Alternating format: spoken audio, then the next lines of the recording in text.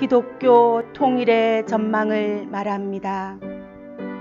우리는 어떻게 하여야 기독교는 통일될 것이냐 할 것은 어느 교파를 막론하고 하나같이 관심을 두지 않을 수가 없을 것입니다. 그러나 어떤 교파가 독자적인 세계 통일의 전망을 가지고 있다는 것은 망상에 불과한 교만일 것입니다.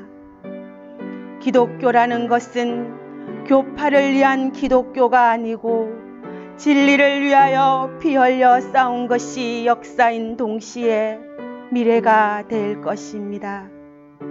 그러면 우리 기독교는 마지막 싸움을 어떠한 진리로 싸워야 할 것이냐 하는 것을 깊이 깨닫지 못한다면 진리가 아닌 미로에서 허덕이다가 한 일 없이 끝을 맺게 된다면 주의 날에 설 적에 주님은 그들을 안다고 할 수는 없을 것입니다.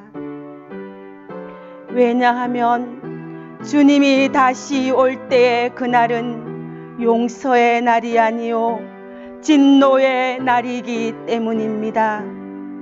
진노의 날에 기독교는 어떻게 통일이 될 것이냐 하는 것은 성서를 통하여 분명히 알 수가 있습니다. 진노라는 것은 아무리 하나님의 자녀라도 그날에 관한 법칙이 되는 말씀을 안 지키면 아무리 사랑하는 자라도 용서할 수가 없다는 것이 하나님의 법이기 때문입니다. 죄를 모르는 에덴 동산에서도 말씀을 지키지 않을 때에 용서 없이 쫓아내서 죽게 했거든. 소위 하나님의 교회라 하는 간판을 가지고 말씀을 밝히지도 않고 지키려고 힘써지도 않고 덮어놓고 믿으면 된다는 망설을 하고 있는 형편을 우리가 보게 됩니다. 덮어놓고 믿음으로만 된다는 미명하에서는 사단은 얼마든지 교회를 침투할 수 있는 기회를 얻었습니다. 왜냐 할 때에 진노의 날이라는 것은 마귀 허감을 개방시키어 누구든지 말씀을 가하고 감하는 자가 있다면 다 유혹을 주라는 것이 진노의 날이 오는 때에 하나님의 말씀이기 때문입니다. 마귀를 들었으되 진리로 하나 되게 하기 위한 목적에서 하나님은 마귀를 들어 쓴다고 봐야 합니다. 이제 붉은 용과 붉은 짐승과 거짓 선지의 세력을 극도로 강하게 들어서 교회의 통일을 자동적으로 되도록 이루어 놓을 것입니다. 왜냐하면 알곡을 한데 모으기 위해서는 무서운 마귀 세력을 들어서 쭉정이를 다 골라내는 환란의 바람이 오게 하므로 남은 자만이 새 시대를 들어가는 데는 남은 교회가 나오게 되는 것입니다.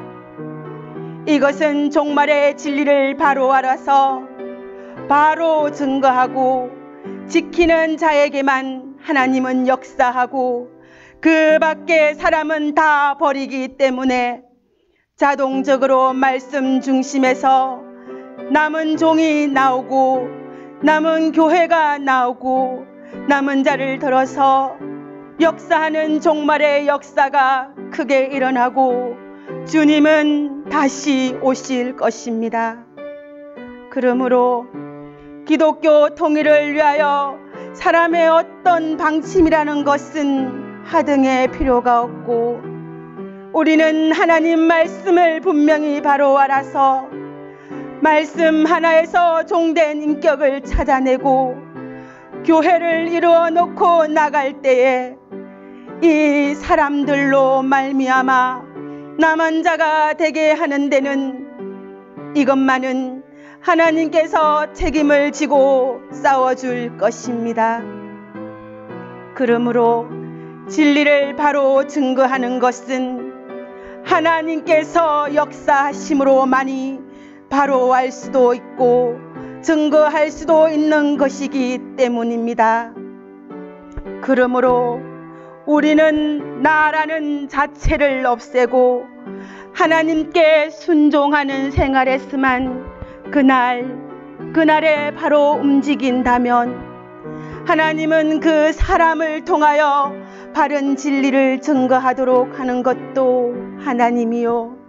이런 사람을 들어서 승리하게 하는 것도 하나님이니 인간의 힘과 능은 하등의 필요가 없는 진노의 날에 기독교 통일을 이루게 되므로 기독교로 말미암아 새로운 시대를 이루게 될 것입니다.